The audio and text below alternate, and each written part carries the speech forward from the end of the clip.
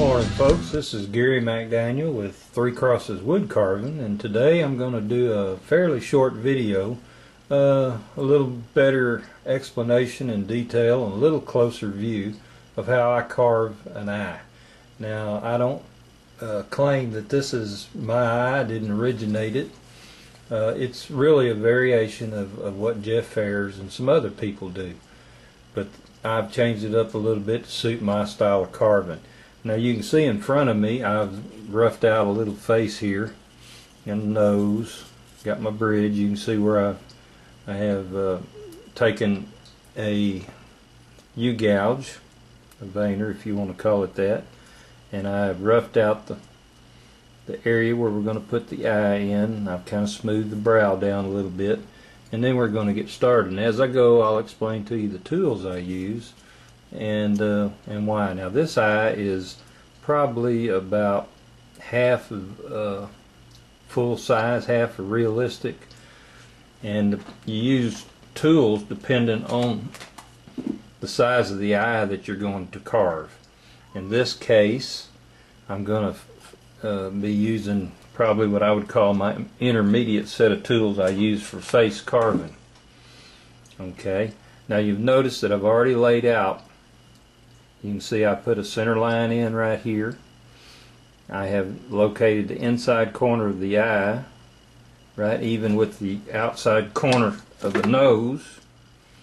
And the size of the eye is basically the width of the nose right here. Now I've made it just a little bit smaller, cheated in just a little bit, and I've laid it out here. Okay, actually a little smaller even there, but that's okay. Uh, for demonstration purposes, this will work fine. The first thing I am going to do is I'm going to set the eye mound. And this circle you see here is actually the eye mound, which you really don't see it, is under the eyelids. The part of the eye you see is caused by the eyelids opening up. So what I'm going to do first, I'm going to take a veiner, and you can see it right here, if I can get it where you can see it. It's about an eighth inch veiner and I'm going to start cutting these lines. I'm going to be cutting from the top back towards the center kind of centering on the line. And as you go towards the center you want to make that deeper. And this is going to start allowing us to have a round eye mound as we go here in a minute. Okay. Let me just cut it a little deeper um, you want this to be pretty deep when you hit the center line. The deeper you get this, really the, the more roundness you will be building into the eye mound. So, and it, you have to do it a couple of times. You're not going to get it all in one fell swoop. So just go ahead and keep cutting it until you get it deep enough you think. Okay.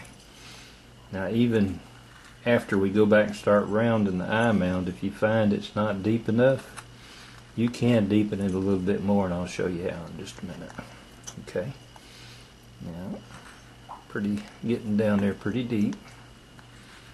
Okay, now I'm going to turn it around. I'm going to do this other side the same way. I'll come, start going to the center. I'll start deepening that up. Come back this way, go to the center.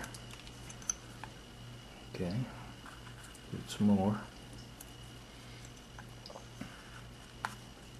Excuse me. It's kind of an awkward position I'm in right here, so you'll have to excuse the fumbles. Okay, a little bit deeper here. Alright.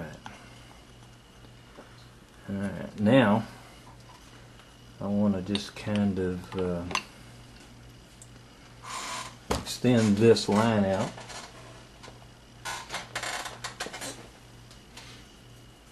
I'm going to kind of extend this line out a little bit more.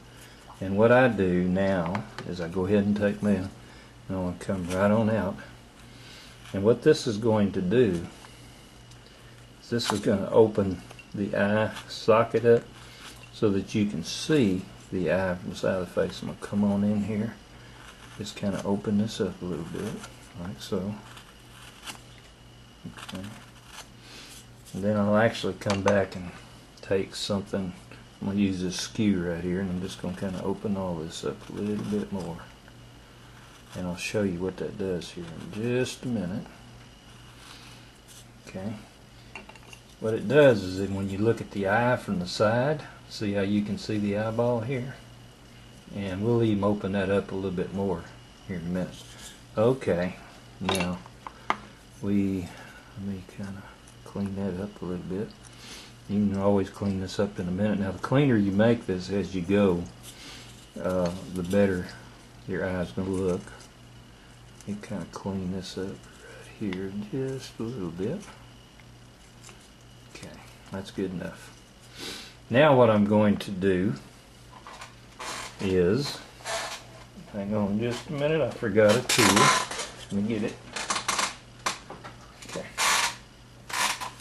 I'm going to take the shallow gouge. This happens to be a number 7. You can use a number 5. You can use about anything you can get in here with. And what I'm going to do with this is I'm going to start up here at this level and I'm going to round down into that ditch, so to speak. And I'm going to create roundness side to side in this eye mound. And you just kind of take your time.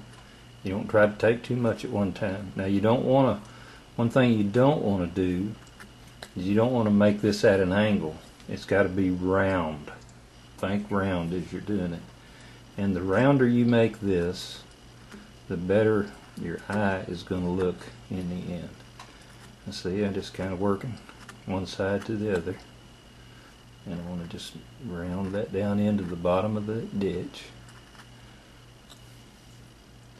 You don't have to come all the way to the middle, but you do need to get it round. You don't want any facets, which are flat places showing.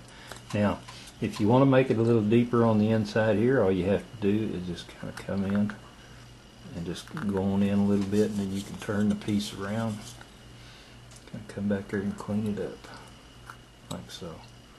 So I can get that a little bit deeper if I didn't get it deep enough with the uh, veiner. Okay?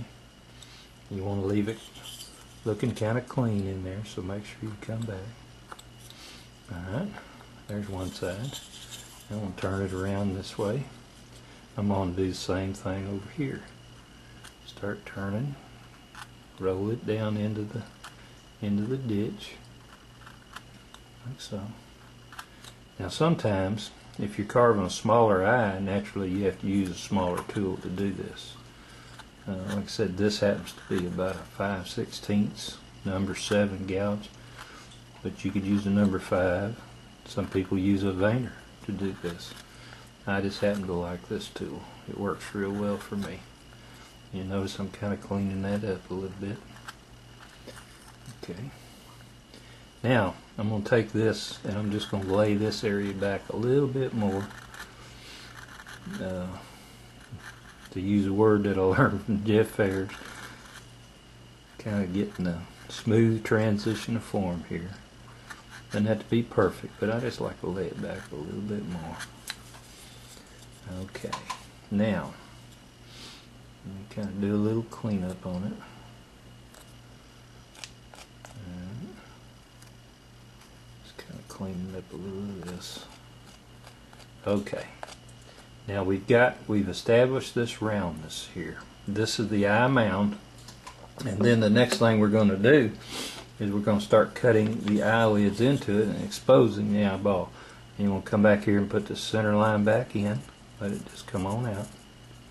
Like so. Okay. Now what we're going to do is draw in the top eyelid. And now what I do is, you'll notice it rounds from about here to here. I'm going to start right in that corner. I'm going to come up about a 45 degree, just about as far as that roundness goes. Okay. And then you're going to come from this point. Now here's where the other end of this eye is, down right here. I'm going to come from this point and I'm going to round down right there and I'm going to let that line go right on through. Okay? So just like that. There it is. This is going to be the line of my top. Actually, I'm going to make it a little smaller. I'll come in, change that just a little bit. I like a squinty eye. Okay, just like so. And then what I'm going to do is I'm going to take my detail knife. This happened to be one that was made by Gene Webb. Had it for a long time and I love it. Needs to be good and sharp, razor sharp. Okay, and I'm going to turn this around and I'm going to stick it right in that corner. And I'm going to go ahead and push it in pretty deep. Alright? And then I'm going to cut one continuous line, not undercutting. This knife needs to be straight up and down to the wood. All the way there. Okay? Make sure I got a good cut. Alright. Now what we're going to do here is we're going to round, or we're going to take this and we're going to come straight up with it. But as we do this, and as we do this, we need to keep that roundness that we've set. So I'll start down here in the corner. Sometimes it, it helps if you just kind of go here and make a little downward cut. And that just kind of helps me. But you're going to come all the way down from the bottom of the eye mound and you're going to start rounding it up. Straight up now. You're not going back at an angle. You're not making a football like some people do when they do eyes. Let's see. Okay. And I want to take it till I got, oh, you could say maybe a sixteenth of an inch depth right there. And you got to keep that roundness.